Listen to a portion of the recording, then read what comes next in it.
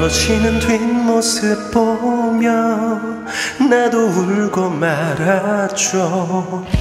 얼마나 내가 사랑해.